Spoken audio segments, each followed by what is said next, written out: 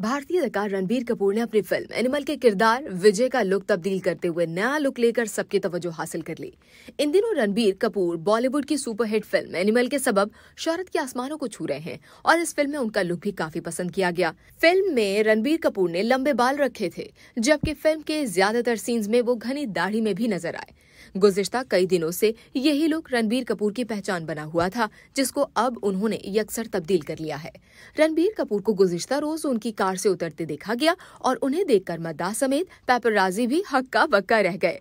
दरअसल रणबीर कपूर ने अपने लंबे बालों के बाद अब दाढ़ी को भी तरशवा दिया है और अपने इस नए लुक में वो अपनी डेब्यू फ़िल्म सावरिया के किरदार रणबीर राज लग रहे हैं। फ़िल्म एनिमल से कबल रणबीर कपूर बॉलीवुड में एक चॉकलेटी हीरो के तौर पर पहचाने जाते थे। लेकिन गुजश्ता साल दिसंबर में रिलीज़ होने वाली फ़िल्म एनिमल में रणबीर ने ये पहचान बदलते हुए उनसे चॉकलेटी हीरो का टाइटल छीन लिया है। अगरचे एनिमल में रणबीर कपूर की अदाकारी को बेहद पसंद किया गया, लेकिन अदाकार के परिस्तार उन्हें पुरतशद किरदार से ज़्यादा रोमानवी रंग बिखेरने वाले किरदारों में ही देखना पसंद करते हैं।